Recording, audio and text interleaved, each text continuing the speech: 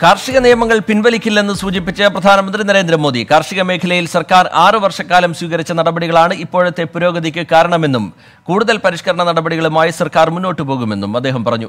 അതേസമയം ആറാം തീയതി നടക്കുന്ന കർഷക സമരത്തെ നേരിടാൻ ശക്തമായ സന്നാഹങ്ങളാണ് പോലീസ് ഒരുക്കുന്നത്. ചൗരി ചൗര സമരദിനത്തെ അഭിസംബോധന ചെയ്യുകയായിരുന്നു പ്രധാനമന്ത്രി.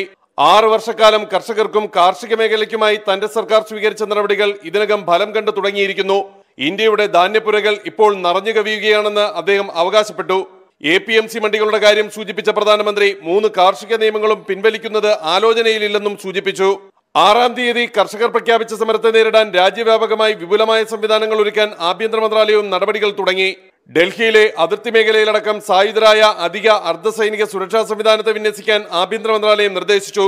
രാജ്യത്തെ എല്ലാ സംസ്ഥാനങ്ങളോടും സുരക്ഷ കർശനമാക്കാനും കേന്ദ്ര ആഭ്യന്തര മന്ത്രാലയം ആവശ്യപ്പെട്ടിട്ടുണ്ട്. കേന്ദ്ര ആഭ്യന്തര സെക്രട്ടറി നാളെ ഡൽഹി പോലീസിന്റെയും വ്യത്യസ്ത സുരക്ഷാ വിഭാഗങ്ങളുടെയും യോഗത്തിൽ സാഹചര്യങ്ങൾ അവലോകനം ചെയ്യും.